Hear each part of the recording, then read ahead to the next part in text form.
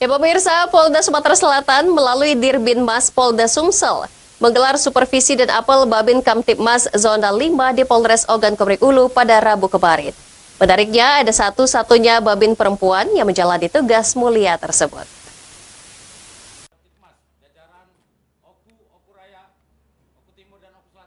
Polda Sumsel menggelar apel Babin Kamtipmas di Polres Oku guna untuk pemantapan peran dan tugas fungsi Babin Kamtipmas dalam mendukung Pilkada 2024 yang damai dan kondusif di wilayah Sumsel.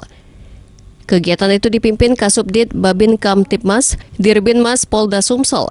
Menariknya ada satu-satunya Babin Kamtipmas perempuan yang bertugas di Polres Oku bernama Bribka Murniati Dabuke atau akrab disapa Bribka Belinda.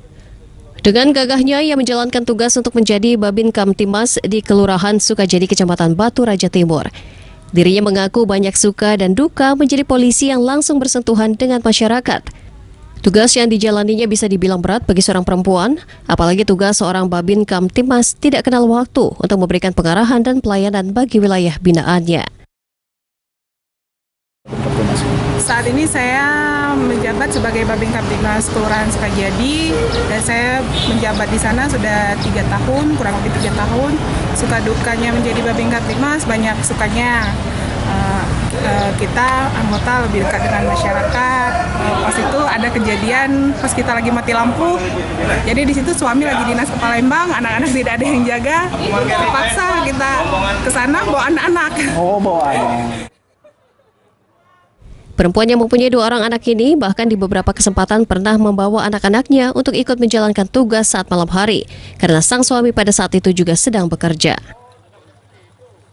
Aibda Melinda menjadi Babin Kantimas dengan kelurahan Sukajaya. Jadi dengan kesadaran ini ikhlas melaksanakan penyuluhan, sambang, dan pendekatan kepada masyarakat.